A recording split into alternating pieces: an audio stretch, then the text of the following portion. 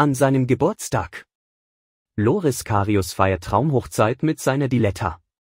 Vulcano, Italien, genau an seinem Geburtstag gab er seiner großen Liebe das Ja-Wort.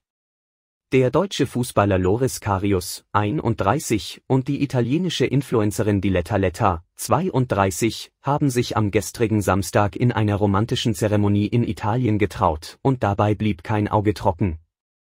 Seit 2022 gehen Karius und Letta gemeinsam durchs Leben, krönten ihr Glück bereits 2023 mit ihrer Tochter Aria. Als die Moderatorin schwanger war, hielt der frühere Liverpool-Keeper um die Hand seiner Angebeteten an. Anfang Juni feierte die Fußballmoderatorin ihren Junggesellinnenabschied auf Ibiza, jetzt war es endlich soweit.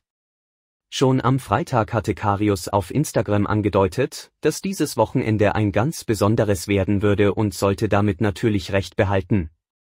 Vor einer traumhaften Kulisse auf der Insel Vulcano vor der sizilianischen Küste zelebrierten die Frischvermählten genau am 31. Geburtstag des Bräutigams ihre Liebe. Letta veröffentlichte noch am Samstagabend einige Fotos auf Instagram, die sie mit Alles, was ich je gewollt habe, betitelte, das Motto der Hochzeit, das sie in ihren Schleier eingesteckt den gesamten Tag begleitete.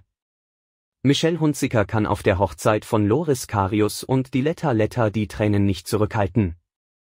Dabei dürften natürlich auch zahlreiche prominente Gäste nicht fehlen. So war unter anderem die frühere Wetten dasselbe.